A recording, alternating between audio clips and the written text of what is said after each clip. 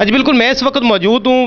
بورے پالا کا نوائی گاؤں ہے، دو سو تریسٹھ لاڑا مالا مشہور ہے یہ۔ یہاں پہ کچھ دن پہلے ایک ماسٹر کا جو واقعہ ہوا تھا، یہاں پہ بتایا جا رہا تھا کہ وہ ٹیچر سے زیادتی کی گئی ہے، ٹیچر کو مار کٹائی کی گئی ہے۔ لیکن جب دیکھا گیا ہے جب اس کا حالانکہ اس پہ جو حکومت پنجاب نے نوٹس بھی لیا ہے، لیکن اس کا جو ڈراپ سین ہے، وہ ہو چکا ہے۔ اس کا جو جو اصل سٹوری سامنے آ رہی ہے، وہ یہ آ رہی ہے کہ وہ جو ٹیچر ہے، کلیم لاڈ وہ متعدد لڑکیوں سے جو ان کے ساتھ زیادتی کرنے کی اس نے کوشش کی ہے، اس نے سکول بنائے ہیں اور سکول جو بناتا ہے، اس میں جا کے وہ بیڈ بھی رکھتا ہے۔ تو میرے ساتھ اس وقت کچھ اہل علاقہ موجود ہیں، ان سے بات کر کے جانتے ہیں کہ وہ مزید اس حوالہ سے کیا کہتے ہیں۔ جی آپ بتائیں گے، کیا کہیں گے اس حوالہ سے؟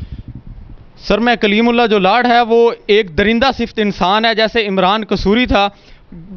اس طرح کا انسان ہے جیسے زینب کو عمران نے کیا، ایسے کلیم اللہ لار نے تقریباً میرا خیال ہے کوئی ہزاروں لڑکیوں کے ساتھ ایسے کر چکا ہے اور کرتا بھی رہے گا۔ جب تک حکومت پنجاب سے میری اپیل ہے وزیر اعظم پاکستان سے اپیل ہے، صدر پاکستان سے اپیل ہے کہ ہمیں انصاف ملے اور جو زینب ہے، وہ کتنی زینب اور اس طرح اس درندہ صفت انسان کے ہاں جی بالکل آپ نے ان کی بات سنی۔ ان کا یہ کہنا ہے کہ یہ جو ایک عمران قصوری تھا، جو قصور میں زینب کے ساتھ جس نے درندگی کی تھی، یہ جو کلیم ہے، یہ بھی اسی صفت کا جو انصاف، انسان سمجھا جاتا ہے، یہ بھی متعدد لڑکیوں کے ساتھ جنسی زیادتی کر چکا ہے۔ یہ متعدد لڑکیوں کے ساتھ انہوں نے جو ہے زیادتی کرنے کی کوشش کی ہے۔ تو یہ اس کا طریقہ کار یہ ہے کہ یہ ایک سکول بناتا ہے یا اکیڈمی بناتا ہے وہاں پہ آنے والی بچیوں کے ساتھ زیادتی کرتا ہے۔ اہل علاقہ نے پرزور اپیل کی ہے حکومت Punjab ji, chief justice of Pakistan اور وزیر اعظم پاکستان سے کہ اس دن کے خلاف قانونی کاروائی کی جائے اور سخت سے سخت سزا دی جائے اور ان کو انصاف فراہم کیا جائے۔ جی۔